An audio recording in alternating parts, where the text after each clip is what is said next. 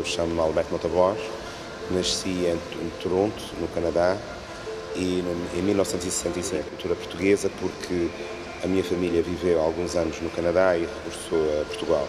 E, obviamente, que a minha a matriz de funcionamento é a matriz portuguesa. Uh, no entanto, há sempre a ligação uh, pela vivência que a minha família teve no estrangeiro com a diáspora e com estes processos de, digamos, viver em Portugal e viver uh, no estrangeiro. Levar o número de Portugal mais alto nas atividades profissionais que desenvolvo e que têm interação no estrangeiro e fazendo de forma o mais profissional possível, leal, assertiva e com sentido de do interesse geral e não dos interesses particulares e específicos. Conhecimento temos sempre, se fazemos o trabalho de forma, hum, de forma assertiva, de forma profissional, de forma a que privilegiemos os, os interesses comuns.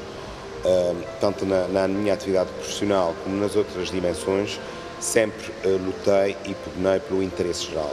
Eh, porque o interesse depois, o reconhecimento é uma coisa que não alimenta o nosso dia a dia, o que nos alimenta no dia a dia é, digamos que as pessoas estão satisfeitas, as condições estão criadas para que tudo funcione com uma certa harmonia e, um, e que o maior possível de pessoas esteja melhor no dia seguinte que no dia anterior. penso que no Canadá, pela dimensão, é um país de, de maior oportunidade, de mais oportunidades, mas no meu caso concreto até nem tenho essa, esse problema, porque eu vivi nos Açores uh, e é uma, uma, região relativamente pequena e depois fui trabalhar para, para o Algarve, que é uma região relativamente maior. Não é pelo facto de, de ter, de viver em Portugal ou de não, que o sucesso é diferente. Acho que o sucesso nós podemos atingir independentemente do sítio, agora a minha certeza por é que é necessário arriscar, uh, uh, lançar, aceitar os desafios que vão surgindo e não esperar por um desafio que nunca, que nunca irá surgir. São aqueles que nos vão surgindo, é aqueles que nós temos a agarrar, desde os mais modestos, os mais ambiciosos, os mais uh, com maior visibilidade, é aceitando todos os desafios. Este é o melhor projeto que teria neste momento, é o projeto que eu desenvolvo com maior entusiasmo, alegria, empenho uh, que eu tenho e todas as energias do mundo que eu posso concentrar em mim é neste projeto que desenvolvo da melhor forma. São patriotas. Eu penso que hum, alguns portugueses uh, na ligação a Portugal ficam relativamente circunscritos um, a bairros, a grupos, etc. Mas uh, neste momento, no, passado havia uma situação, o ponto de partida de Portugal, o ponto de partida social, económico, cultural. Neste momento, nós, com as novas gerações, temos uns portugueses completamente diferentes, que dão valor a Portugal, têm os skills técnicos suficientes para brilhar em qualquer parte do mundo. É a capacidade de improviso. A pior é a falta de planeamento e de cumprimento de horários e, e de algum rigor. Obras que não é social, é de natureza uh, desportiva, dê muito gozo, porque hum, muito prazer, porque eram preparação de miúdos para provas de natação, organização de provas de natação, proporcionar experiências diferentes a, a crianças, crianças, ou seja, até aos 18 anos e mais, mas principalmente. Isso foi uma experiência extraordinária. E ter amigos, amigos, entre aspas, do Facebook, que são nadadores e são jovens, é um prazer incrível, é porque eles reconhecem que alguma coisa foi feita por eles. E nesse aspecto foi um demo envolvi socialmente com mais impacto. Envolvi-me em outras, mas esta teve mais impacto porque, no fundo, estamos a semear sementes que terão resultados no futuro.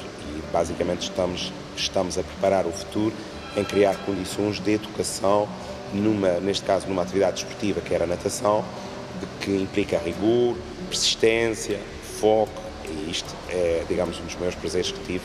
Nesse vídeo. Muitos me serviram de inspiração, às vezes pessoas simples, outras vezes pessoas, nomeadamente, na maior parte das vezes, as pessoas que me inspiraram mais foram pessoas uh, inteligentes, cultas, que me podiam abrir os olhos e que me podiam assim, ensinar a raciocinar de forma diferente. São várias pessoas, não queria citar aqui um nome em particular. No caso concreto, figuras históricas, obviamente, que o Marquês de Pombal inspira-nos na medida em que um, consegui ver na época o que os outros não viam, que foi um redimensionamento da cidade de Lisboa, No caso cultural, gostava de dar o nome do Antero Cantal, que no século XIX tinha uma visão 100 anos à frente. Evidente aqui também uma localização, a mesma origem, a sua origem de infância foi nos Açores, mas ele conseguia ter uma visão muito à frente e as conferências de Coimbra eram, eram, eram eventos extraordinários para a época. Portanto, são pessoas com visão muito à frente da, da média de, da sociedade. Amigos. Basicamente é assim que eu tenho mais saudades. Mas eu tenho a perspectiva de quando estou fora tentar aprender do melhor que se faz fora, do melhor que existe uh, em outros países, identificar aspectos relacionados com a cultura, com o mindset económico, etc. Porque eu olho muito para esse aspecto do mindset económico, como é que eles conseguem sobreviver e conseguem viver. Portanto, essa é a forma como que eu tiro, tento tirar partido, é que acreditem das nossas capacidades, nos nossos conhecimentos, na nossa capacidade empreendedora, porque em, comparativamente a outras uh, nacionalidades nós temos as mesmas capacidades, a mais que os outros. Temos uma origem em Portugal onde somos mais tranquilos por força das nossas condições climatéricas, paisagísticas e naturais, mas temos as condições totais para ter sucesso em qualquer parte do mundo, em qualquer país.